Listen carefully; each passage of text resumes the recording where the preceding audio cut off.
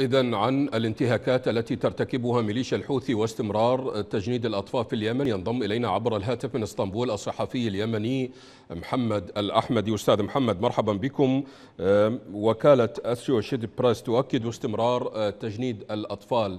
في صفوف ميليشيا الحوثي. ولكن ما الذي الذي لا نفهمه هو تغريدة قديمة لوزير الخارجية الإيراني حسين أمير عبد اللهيان يشجع على تجنيد ميليشيا الحوثي لأطفال اليمن. ما الذي أدخل وزير الخارجية الإيراني بتشجيع أو بتجنيد أطفال اليمن؟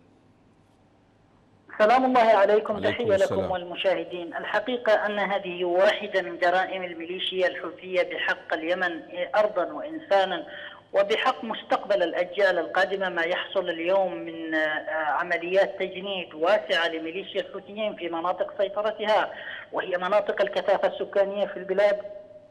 هو بمثابة تفخيخ للمستقبل. هن إنهم يصنعون قنابل موقوتة ستنفجر في وجه الجميع وكل ذلك يأتي بتواطؤ دولي واضح.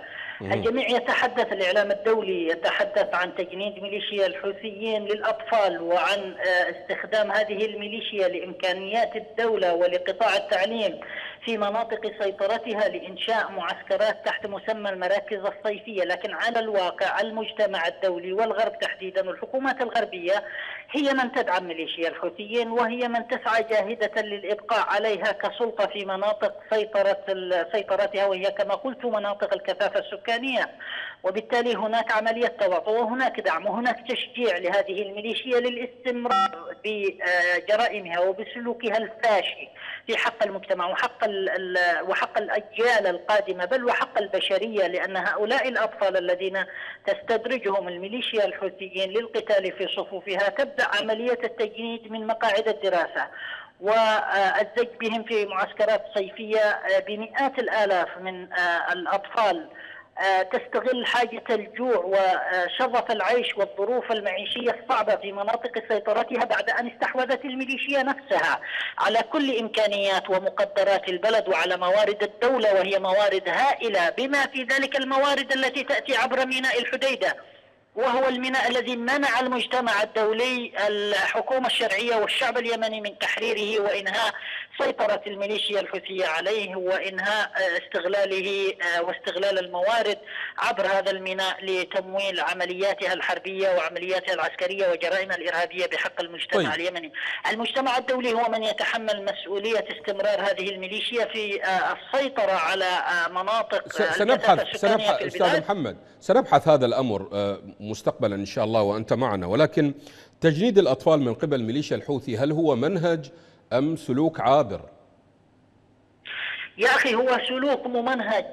ميليشيا الحوثيين تعرف أنها جماعة منبوذة على المستوى الاجتماعي وأن أفكارها وثقافتها ثقافة منبوذة مجتمعيا ثقافة استعلاء وادعاء الاصطفاء السلالي العنصري وثقافة طائفية بامتياز. وهي ثقافة مستوردة على الشعب اليمني ولا تمت لهوية اليمنيين بأي صلة. ثقافة عبارة عن مزيج وخليط من الإمامة المذهبية الطائفية في اليمن ومن ثقافة الولي الفقيه في إيران. وليست جزء من هوية اليمني ولا تركيبته الثقافية. وبالتالي تذهب إلى الأطفال باعتبار أن هؤلاء الأطفال بإمكانها غسل أدمغتهم وتعبئتها بأفكار الميليشيا بأفكار الجماعة الإرهابية. وبالتالي هي تذهب إلى الأطفال لتجنيدهم ولتعبئتهم ثقافيا وفكريا. بأفكارها الطائفية وخرافاتها وبحيث يكونوا وقود لحروبها لفترات قادمة ربما لعقود نعم. قادمة. أستاذ محمد أنت تحدثت عن الأمم المتحدة ولكن لابد من الوقفه في في هذا المفصل في هذا الإطار، يعني كيف يمكن أن تقبل الأمم المتحدة بهذه الانتهاكات من قبل الميليشيات ضد أطفال اليمن مرورا بخرق الهدنة الإنسانية، بمعنى آخر هل يتحمل المجتمع الدولي ما يجري على أطفال اليمن؟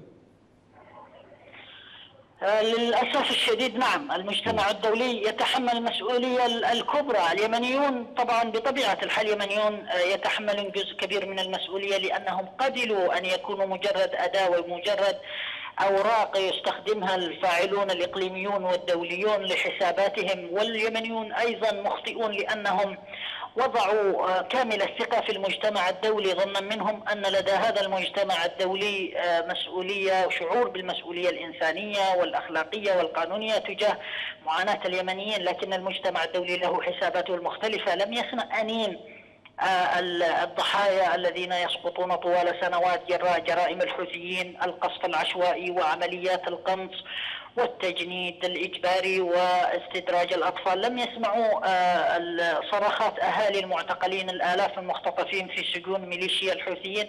لم آه، يلتفتوا إلى آه، أنين الجوعى الذين يتضورون جوعا بسبب مصادرة ميليشيا الحوثيين للقمة من أفواههم بما في ذلك مصادرة المساعدة الإنسانية التي يأتي بها المجتمع الدولي باسم الشعب اليمني لكنها تذهب إلى قيادات ميليشيا الحوثيين وإلى السوق السوداء بيعها وتمويل حروبها على المجتمع. المجتمع الدولي يتحمل مسؤولية كبيرة في استمرار سلطة الميليشيا الحوثية على مناطق الكثافة السكانية في اليمن. المجتمع الدولي الذي أصدر قراراته عبر مجلس الأمن آه، قبل آه، آه، سبع أو ثمان سنوات لم يكن جادا ولم يتوفر على إرادة. حقيقية سياسية لإنفاذ قراراته في ضرورة إسقاط هذا المشروع الدموي في اليمن وسحب ميليشيا الحوثيين وخروجها من المدن ومن مؤسسات الدولة كان هناك قرارات صادرة عن مجلس نعم. الأمن وهي تعبر عن آه يعني موقف دولي لكنه المجتمع الدولي ذهب للتحايل على هذه القرارات والفشل في وربما لم آه، يعني يكن آه، جادا في آه، معاقبة ميليشيا الحوثي واليوم يتحدث المجتمع الدولي عن مسألة السلام أين كانت هذه المسألة أين كان هذا الحديث عندما اجتاحت ميليشيا الحوثيين المدن اليمنية وسيطرت على مقدرات الجيش وزرعت ملايين الألغام في الطرقات وفي وتحصد لا تزال هذه الألغام تحصد أرواح اليمنيين. طوال هذه السنوات. أين هذا الحديث عن السلام؟ السلام اليوم الذي يتم الحديث عنه للأسف هو السلام الذي يمكن الحوثيين من بناء دولتهم الكهنوتية الإجرامية في اليمن والتحكم برقاب اليمنيين وأن يكون اليمنيون مجرد آه، أرقام في آه، حسابات هذه الميليشيا سواء نعم. في التجنيد أو في نهب مقدرات اليمنيين وإمكانياتهم لم تسلم حتى الممتلكات الشخصية. لليمنيين يتم مصادرتها من قبل الميليشيا الحوثية أفقرت المجتمع وهي بالتالي حتى في مسألة تجنيد الأطفال آه، تعمد إلى خلق جيل مشوه يعني آه، مئات الآلاف اليوم من الأطفال الذين يزج بهم في معارك الميليشيا الحوثية أو يهيئون لهذه المعارك.